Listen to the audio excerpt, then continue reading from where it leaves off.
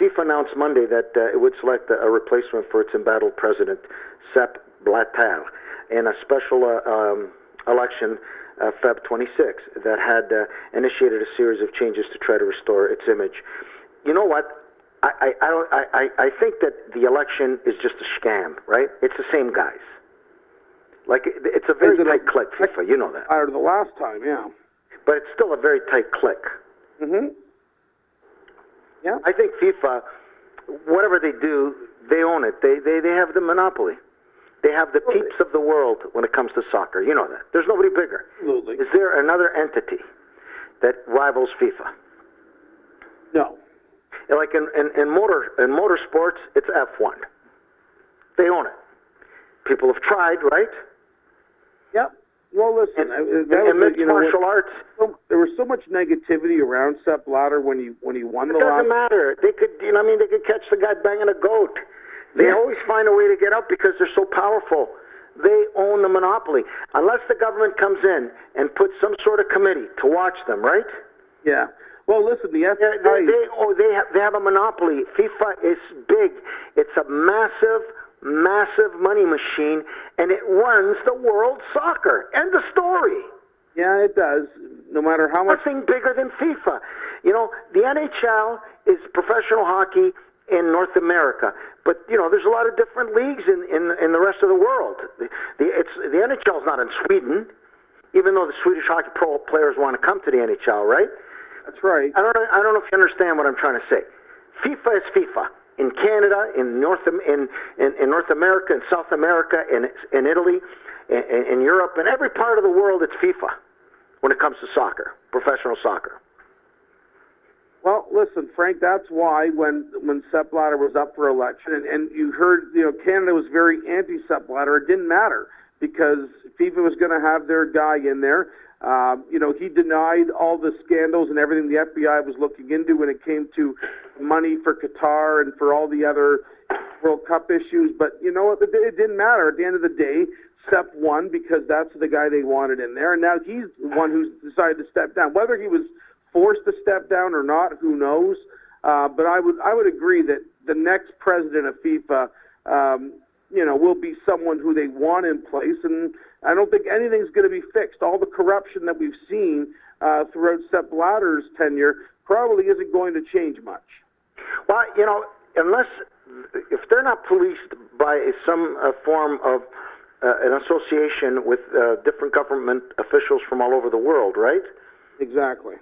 FIFA will become a, a giant, uh, you know, snake uh, that will will run its own uh, course everywhere they want. They are so powerful.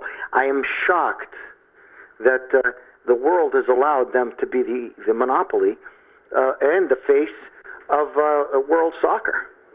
Well, everyone knew that there was a lot of shady business going on, which is why no one was surprised when um, the FBI got involved a few months ago.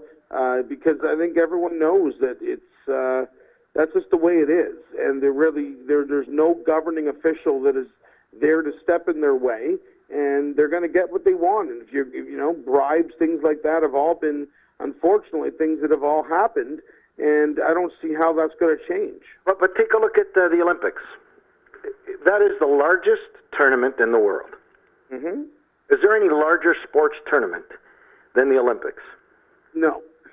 The Pan Am Games is hung on, but it's nowhere near the prestige and the dollar value of the Olympics. Would that be fair to say? Yeah, the Olympics, absolutely. To put on an Olympics, uh, it's you know you're looking at billions and billions of dollars. And, and and the Olympics, right, to me represent the only other thing that rivals the Olympics as far as world peeps is World Soccer Championship. hmm You know, and what do people watch the Olympics for? The f- fastest runner and the soccer.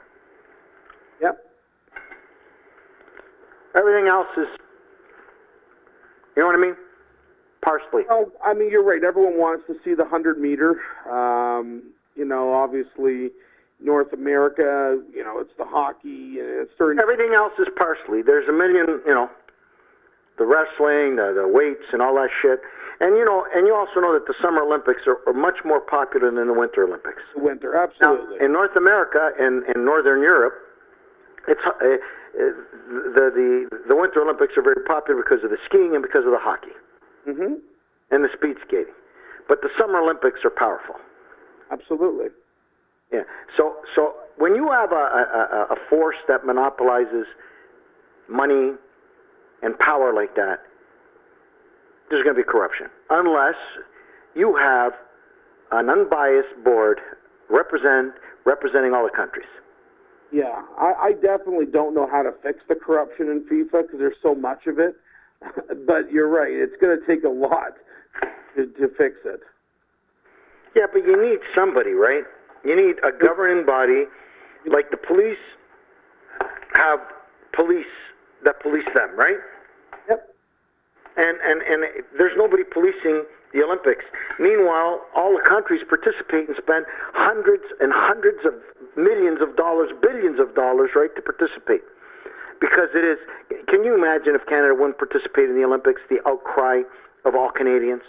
Yeah, that, I, I couldn't even imagine. I couldn't, I couldn't see that situation ever. So we are blackmailed by nationalism, by patriotism, right, and by emotion, and that's what the Olympics thrive on. Which is funny because you know what, Frank? Remember, you know, I know you brought up Sochi earlier.